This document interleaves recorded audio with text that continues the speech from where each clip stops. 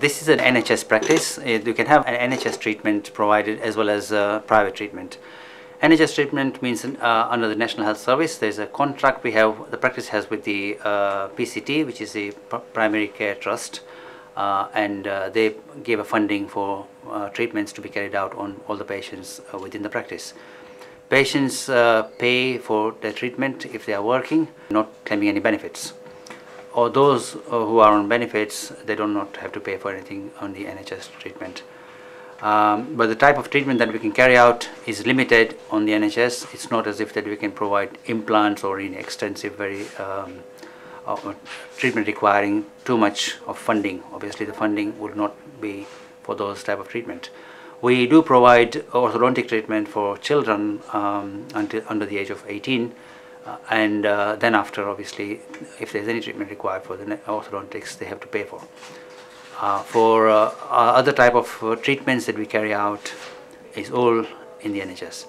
Um, and the thing that you can also do is mix and provide private treatment as well as NHS. Those treatments which are not um, under the NHS will be only private. So obviously, practice can run as an NHS as well as private, or some practices in areas where there is uh, uh, patients or people who are well off, who are uh, sort of in um, like Solihull or some of those areas.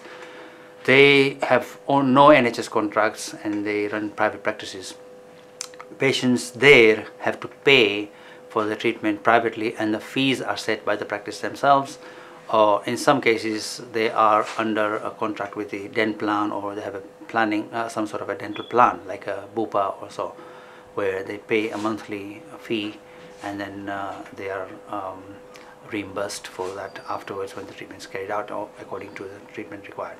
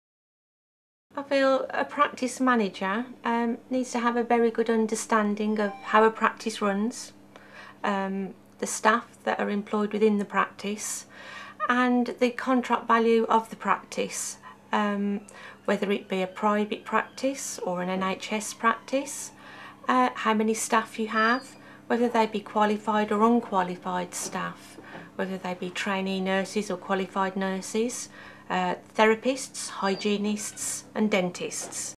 Dental nursing, how did I get into dental nursing? Very interesting question. Okay, I did a couple of weeks work experience from school and absolutely loved it. My parents had other ideas, but unfortunately I chose to take the path of dental nursing. However, that has been rewarded tenfold. Okay, there are many types of training uh, available to our staff and it will depend on actually where they are within their career. If they are a trainee dental nurse, then they need to attend college one day a week um, for a duration of no more than two years, depending on the student themselves is how quick they can develop. Um, they also have to have observations throughout the practice, um, possibly when they're doing a crown preparation or a fill-in or maybe the decontamination room and the preparation of sterilised instruments.